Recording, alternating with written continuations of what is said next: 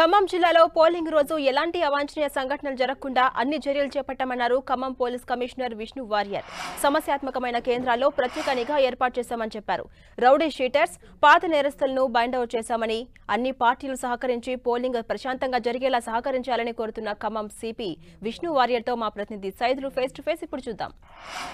పోలింగ్కి సంబంధించినటువంటి ఏర్పాట్లు పూర్తయ్యాయి. మనం చూడొచ్చు మొత్తంగా పోలింగ్ సిబ్బందికి ఇన్స్ట్రక్షన్స్ ఇస్తున్న పరిస్థితి అయితే మనకు కనిపిస్తుంది. మరి కొద్ది సేపట్లోనే పోలింగ్ ప్రక్రియ ప్రారంభం కానుంది ఉమ్మడి ఖమ్మం జిల్లాలో ఇలాంటి పోలింగ్ కేంద్రానికి సంబంధించిన ఏర్పాట్లు జరుగుతున్నాయి. మనతో మాట్లాడేందుకు సిపి విష్ణువారి గారు ఉన్నారు? సార్ చెప్పండి. ప్రధానంగా పోలింగ్ కేంద్రాలకు ఏం చెప్పదలుచుకున్నారు? అంటే పోలింగ్ స్టేషన్ ఇప్పుడు మనము పోలీస్ ఫోర్స్ అంతా కూడా డిప్లాయ్ అవ్వడం జరిగింది. బయట నుంచి వచ్చినటువంటి ఫోర్స్ తర్వాత బందోబస్తు స్కీమ్ ప్రకారం అందరు రావడం జరిగింది. సమస్యాత్మక ప్రాంతంలో ఎక్కువ ఫోర్స్ పెట్టడం జరుగుతుంది.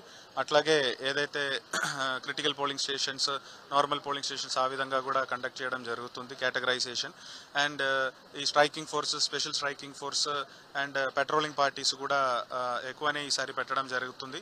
అండ్ ఎలాగో వన్ ఫార్టీ ఫోర్ అమల్లో ఉంది కాబట్టి మోర్ దాన్ ఫైవ్ మెంబర్స్ ఎక్కడైనా కనపడితే చట్టపరంగా చర్యలు తీసుకుంటారనేది కూడా ఆల్రెడీ అందరికీ చెప్పడం జరిగింది. ఎన్ని సమస్యాత్మకమైనటువంటి పోలింగ్ కేంద్రాలు గుర్తించారు? మొత్తం జిల్లాలో వచ్చేసి thousand four hundred and fifty six polling స్టేషన్స్లో three ninety six critical polling stations ఉన్నాయి. ఇప్పటి వరకు ఎన్ని కేసులు నమోదు చేస్తారు ఎంత నగదు పట్టుబడింది? అంటే ఇప్పటి వరకు మనము నలభై కేసుల కన్నా ఎక్కువ అవడం జరిగింది ఎంసీసీ వైలేషన్ అది కాకుండా ఎక్సైజ్ కేసు మాత్రం దాదాపు four hundred cases excise cases మాత్రం ఉన్నాయి. అన్ని కలిపి ఫోర్టీన్ క్రోర్స్ వరకు సీజ్ చేయడం జరిగింది జిల్లాలో ఇప్పటి వరకు సమస్యాత్మకమైన ప్రాంతాల్లో పోలింగ్ అంటే ఈవీఎంలు మొరాయిస్తే వాటికి సంబంధించిన కోఆర్డినేషన్ ఎలా చేసుకునే అవకాశం ఉంది? అంటే మనము ఆల్రెడీ బ్రీఫింగ్లో అందరికీ డూస్ అండ్ డోంట్స్ చెప్పడం జరిగింది. అండ్ వాళ్ళు కూడా ఇప్పుడు వచ్చి పోలింగ్ పార్టీతో జాయిన్ అవ్వడం జరుగుతుంది. తర్వాత జాయింట్ బ్రీఫింగ్ కూడా ఉంటుంది. అండ్ బయట నుంచి వచ్చే ఫోర్స్కి ఆ, వాళ్ళకు సంబంధించిన భాషలో పాంఫ్లెట్స్ కూడా ఇవ్వడం జరిగింది ఒడియాలో మా- హిందీలో కూడా. So all arrangements are in place షీటర్లకు సంబంధించి ఆయుధాలు రికవర్ చేసుకున్నారా ఇంత బైండ్ ఓవర్ అంటే బైండ్ ఓవర్ కేసు మన జిల్లాలో ఇప్పటి వరకు తొంభై వేలు బైండ్ ఓవర్స్ అయినాయి.